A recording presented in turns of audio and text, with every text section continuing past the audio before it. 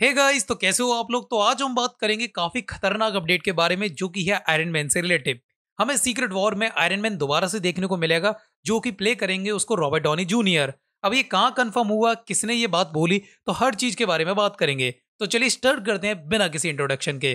तो सबसे पहले एमरलैंड सिटी में कॉमिकॉन हुआ था, साल 2023 में 2 मार्च से लेकर 5 मार्च तक, जिसमें कि मार्क रफेलो को बुलाया गया एज अ गेस्ट और उनसे फैंस ने पूछे कुछ क्वेश्चंस जिसमें कि उनसे पूछा गया कि रॉबर्ट डॉनी जूनियर क्या हमें दोबारा से देखने को मिल सकते हैं या नहीं।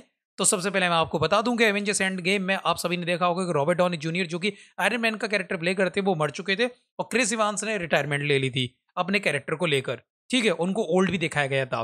पर उसके बाद काफ़ी फैंस और भी होपिंग करने लग गए कि हमें ये दोनों कैरेक्टर दोबारा से देखने को मिलेंगे। तो ये सवाल पूछे गए मार्क रफेलो से, जो कि हल्का कैरेक्टर प्ले करते हैं। तो मार्क रफेलो ने भैया सीधी भाषा में कह दिया कि टाइम मशीन अभी भी है और टाइम ट्रेवल का यूज़ अभी भी हो सकता है यूज़ फ्यूचर में सीक्रेट वॉर में Robert Downey junior as Iron Man और Chris Evans as Captain America दोनों ही देखने को मिल सकते हैं। और ये मेन एवेंजर्स हैं, इनके बिना कुछ भी नहीं हो सकता।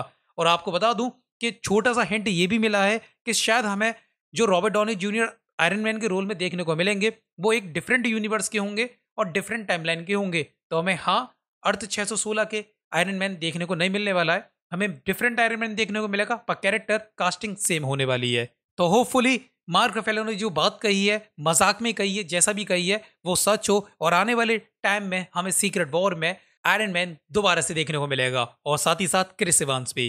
तो गाइज़ ये अपडेट आपको जानकर कैसा लगा मुझे कमेंट सेक्शन में ज़रूर बताना, और आपको और भी अपडेट जानने हैं तो मेरे इंस्टाग्राम को जाके फॉलो कर सकते हो।